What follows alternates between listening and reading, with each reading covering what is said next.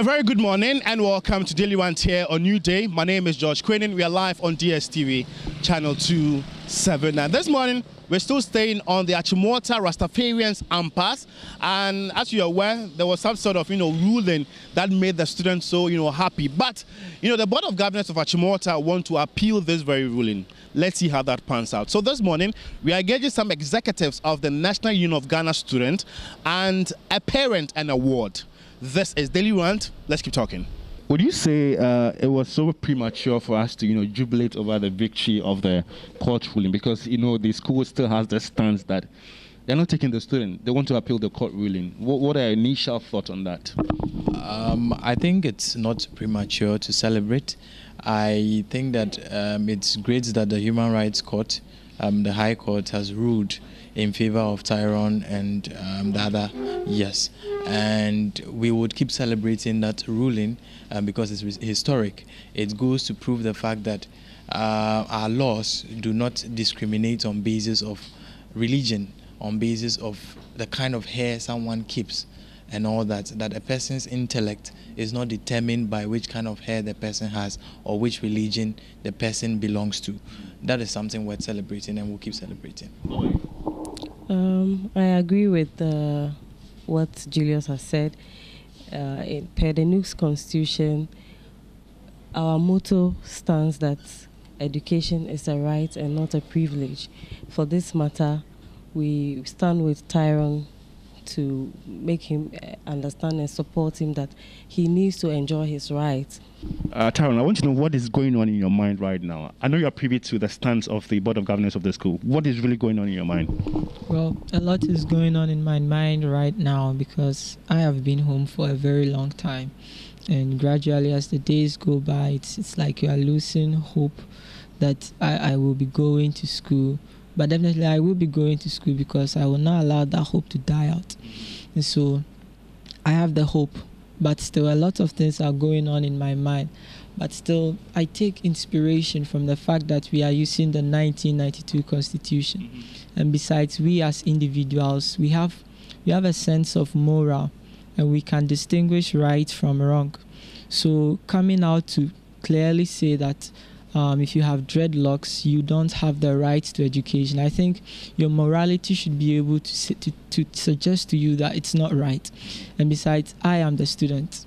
I came in there as a student with hopes of acquiring education from once where I thought um, a prestigious um, a facility, but still, I'm still home and I am the one somewhat suffering, even though it's painful though, but I'm still hoping for the best. Yeah.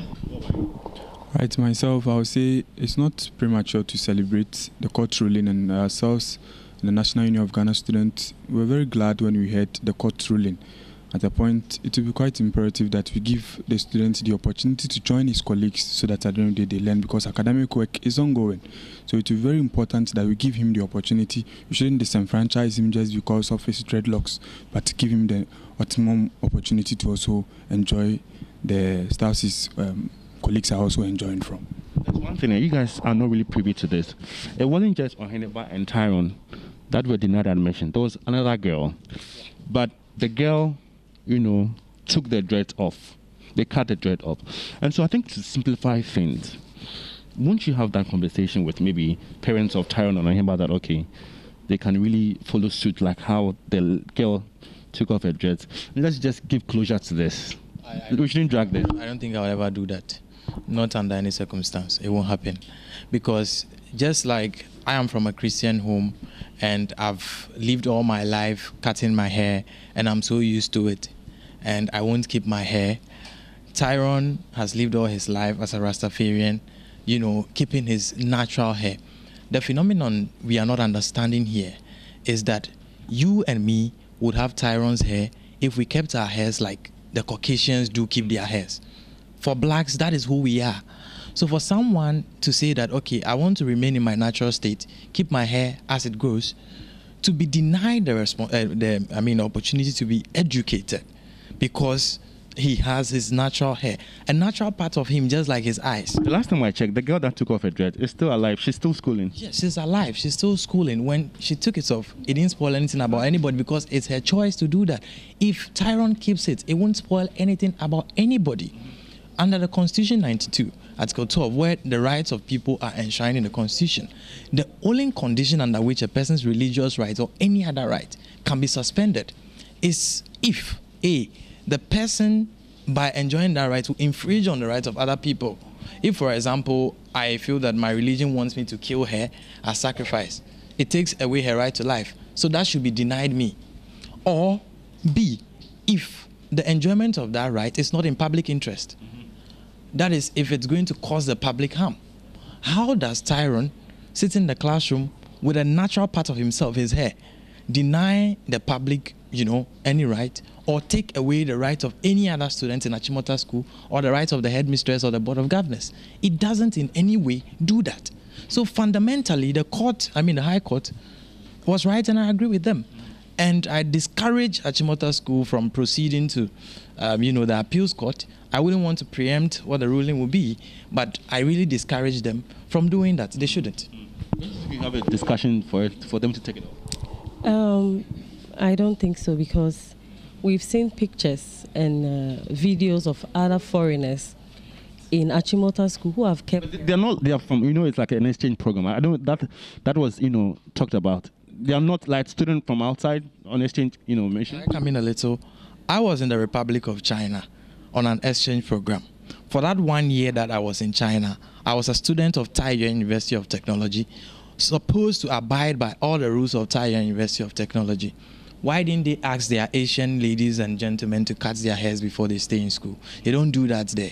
They get to keep their Asian hairs. The moment the black man gets to keep his African hair, it's a problem.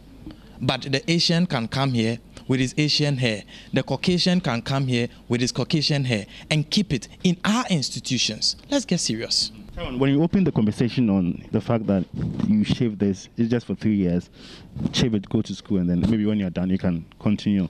What, what will be your impression? Okay, my impression is it's not necessary. Achimota is a school. I'm going there to learn, not to shave or all those kind of stuffs. And Achimota, they are always talking about um, um, being together, unity and cohesion. That they all may be one, not that they all may be identical where you go cutting your hairs and stuff like that. And I went to learn from JHS where I was, I had my hairs. I was the school prefect or warden on count, uh, countless times, and I proceeded because I had a dream of being someone.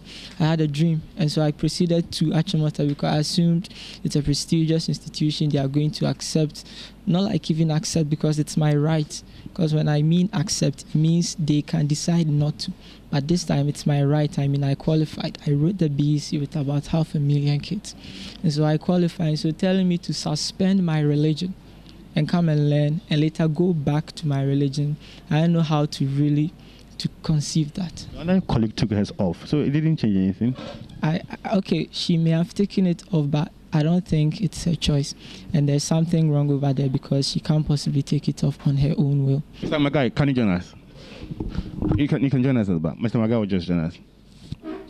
Our feelings haven't changed yet because we know the, um, the judge looked through um, our grievances and it took really a long time, you know, because it's not a case that took um, just a week or two days. Mm-hmm. We had a really long time to go through the grievances and uh, arguments before she um, gave that verdict. So um, I don't think Achimota has a great chance of winning again. That is my personal feeling. So it's not a fear. We are not. Um, our feelings haven't changed. We're still happy that we. Mr. Marhguy, whilst we having this back and forth, Tyrone and Oheneba are still in the household. Yes. Well, um, we're trying that um, they catch up because they're studying, you know. And um, we're also doing this not for our personal interest. Because let's take, for instance, we give Achimota their way, we let them have their way. What about the other um, schools? Schools like um, Mfantsipim, um, Opoku Ware, um, Akraka, they are equally quality schools. then it means everybody can just say, okay, the court has ruled or the constitution says this, but I'm not going to abide by that. And so it's not going to work. Like they are defending that when they allow the child to go to school, other people will come with, like, I believe um, I have to wear just a singlet. The same way other schools too are going to take them as a role model and also, you know, disrespect the constitution and the rules that governs um, the whole nation. And I think I, I would want to side with the fact that if if we really want to go with this ruling, the floodgate, you know, is open now. So I can also come with my own religion that, okay, in my religion, I have to, you know, take off my shirt, and I should also be accepted. That's what it is. No. Can we be a bit realistic here? Do you know what informs people's choices of what they want to do? For me, as a Christian, you know, a Catholic Christian, I don't think I would want to keep a hair like his own. Mm-hmm. It doesn't automatically mean that I am right and he is wrong. All my life, I've been trained to cut my hair. All his life, he's been trained to keep his hair. If I was the one in this situation, I don't think my parent will go defending me because already that is how they've been indoctrinated to believe that I'm supposed to cut my hair. So we would never have a situation where everybody automatically becomes Rastafarians and start keeping hairs. It won't happen, not in Ghana. And we won't have a situation where traditionalists all of a sudden would start masquerading their, you know. You heard about the Peki guy that was also denied admission. You know, they decided not to take it on. On, I mean, to the extent that the law favors them. To the extent that they have taken it on, we will support them, and that's what we are doing. So at the end of the day, let's be, I mean, making considerations as harmlessly as possible. Let's not go to the extremes of possibilities and assume things. If we are supposed to assume the worst of everything, the moment situations come back, we would never make progress. I'm telling you, you would never get other people who are Christians or non-Rastafarians who want to keep their heads and their parents. We won't have that happening in Ghana. It won't happen. As a, fa- as a father, how far will you go with this issue? Yeah, well, um, we're waiting to see what Achimota is going to do, whether they're going to withdraw or they will keep on. And when they still um, take it to the court, then we are waiting. Because I'm not a lawyer, but we have people who are competent and who knows what to do. So we will just wait on that and see how far they can take it, you know. This morning we engaged, you know, executives of the National Union of Ghana Students and uh, a parent and a ward. We all know about the, you know, this very issue, the fact that, you know, the Board of Governors of the institution, you know, are appealing the court ruling. Let's see how this pans out in ensuing days. My name is George Quinn. Thanks for watching and do have a good morning.